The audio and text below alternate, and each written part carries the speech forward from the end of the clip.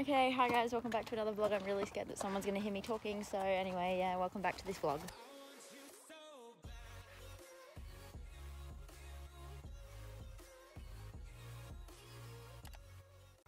I'm so awkward in intros. I think every single intro I do is a fail. And then it's like, anyway. This is going to be a show vlog for once because we're finally going to a show and it's to piss down. So I don't know if it's actually to happen because there might be thunderstorms. But anyway, hopefully we're going to a show tomorrow. I'm about to ride him. It's like five o'clock. I've got 30 minutes before it gets dark. And then I'm going to play him later. It's um the night before, obviously. Well, not, I don't know. Anyway, I will catch up with you later.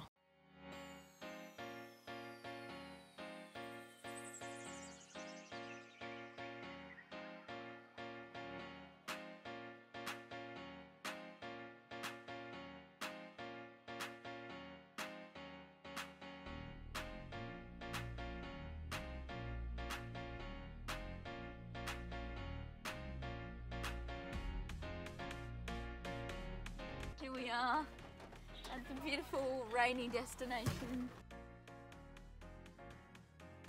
I got in trouble for asking to buy a uniform, guys, because I was unprepared.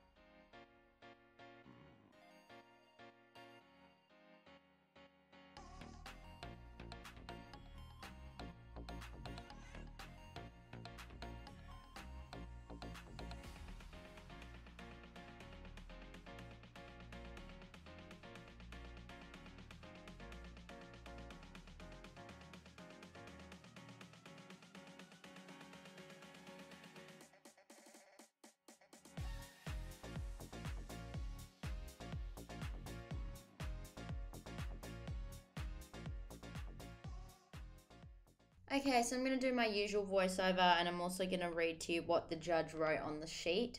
So for his entry, he got a six and a half. He was pretty tense, as you can see. Um, but the judge just wrote straight entry, quarters to the right in hold, well written. And then what's next? For his, hang on, we'll wait until we actually get there. So it was quite a tense test. It definitely wasn't that bad, but it definitely could have been better, and I don't think the puddles were helping. Um, so for that turn, he got a six, slight loss of balance, little tense, and then across the diagonal, he got, oh, that was all in one. She just said fairly straight HXF. So you can see he's just very tense, and I probably also tensed up, which didn't help. And then coming up is the first serpentine, which was probably the better one of the two because the next one was after a canter. Anyway, he had a little moment there. That was nice. But for this serpentine, he did get a seven, and these serpentines were double marks. That he's, yeah, he just could have done that a lot better. Um, a little against the hand, balance lost, I'm guessing look yeah i can't even re- read a lot of what she's written because i'm terrible at reading what the what what are they called what the pencil is right because it's so written so quick anyway for that transition he got a six and a half oh, calm transition, quarters slightly in. This canter, his canter isn't that bad. It's probably one of his strongest. I think it's probably his strongest pace. Um, it was a little bit fast and unbalanced, but he he wasn't as tense. He didn't feel as tense. Down the long side, he kind of lost it a little bit. And then for this downward transition, he got a seven, um, and the judge just wrote hesitant to trot. And then for the before K walk and for his medium walk, he got a six and a half. Calm transition, a little tense. Yeah, his medium walk wasn't great, and his free walk was not very good either. He didn't really stretch at all, except for at that very beginning. So he got a five and a half for that. I can't really read what she wrote. Little tense, jog at M. That's all I can read from what she wrote there. And yeah, he went wonky right before M. And then this medium walk was terrible. He broke into trot, so that was nice. Well, that was the five and a half as well. That transition was nice. I was actually really happy with that. He got an eight for that, and she just wrote calm transition. And then he broke into canter like three times, I think, during the second serpentine. So that would have lost us a lot of marks because those are um, those ones were double. So he got a five for this second serpentine. Judge wrote broke at H, balance, lost last loop, well recovered, broke at E. So yeah, I was not very happy with that serpentine but he does tend to get a lot tenser after he canters, and especially in a test, it's just we just need to ride them more. Thanks, good videoing there, Bo. And for that second canter transition, where is it? He got a six, calm transition, slight head tilt, head tilt to the left. For this circle, he got a six and a half. Um, a little against the hand, balance, and I think that's meant to say that my circle wasn't is it good shape? I don't know. I can't really tell. Anyway, um, how was this transition? Yeah, he went a bit behind there, like he tends to do, especially when he gets tense. For that transition, he got a six and a half, hesitant to trot. And then for the long rein trot, I thought this was terrible. He barely stretched at all compared to how he can stretch and he just got fast on the second half, and I had to shorten my reins again. oh, and then he tries to snatch them back, and then he goes behind the vertical again. Anyway, he got a seven for that, which I thought was quite generous. Um, little loss of balance, fair attempt at stretch, retakes reins well. And then we're just about to go back down the center line, which he got a six and a half for this center line yeah, not terrible. Just being against the hand and tense and hollowing his back. Balance, re entry at A, straight centre line, halt almost square,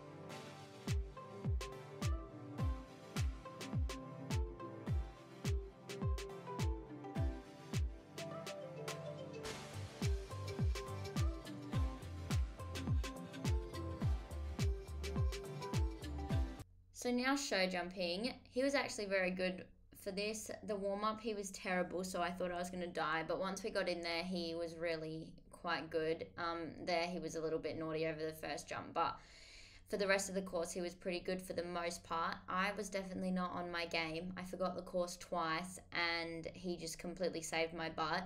So, anyway, coming round to jump number two, this wasn't very nice. I gave him a kind of long spot, and he did one of his like leap into the air, tuck his head into his chest, which is just so hard to ride when he does that. And then this double was set up to one big one stride or two small strides. So the first time we did it, we got two small strides, which was definitely nicer than when we did the one stride, which you'll see in the jump off. This jump was really nice. Um, we got a nice stride to it and he jumped it nicely. And I can't even remember what's next.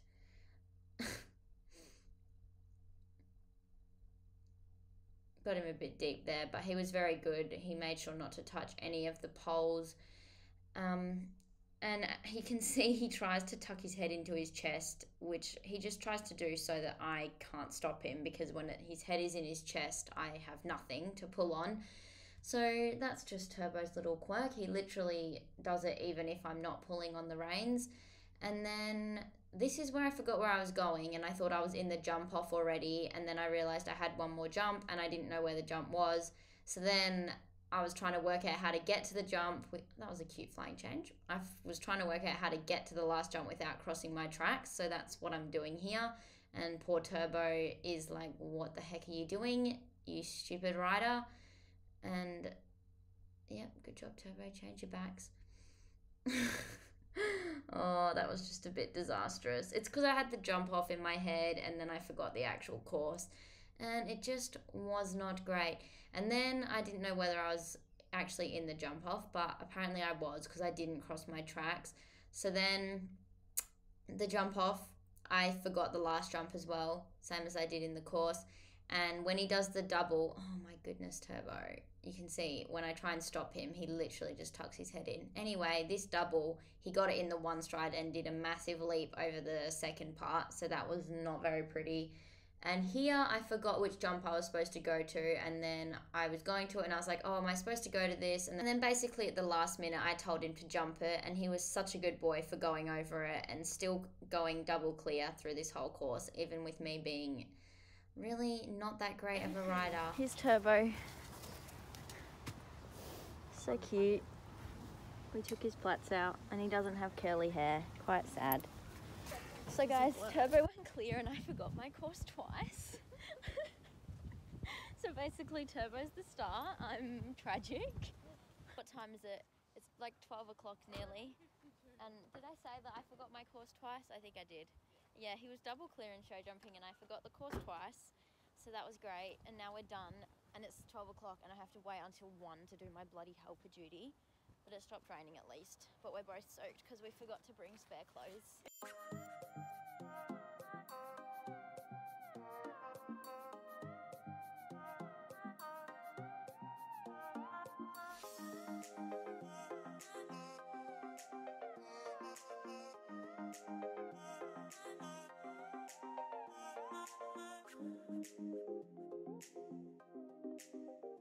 Hey.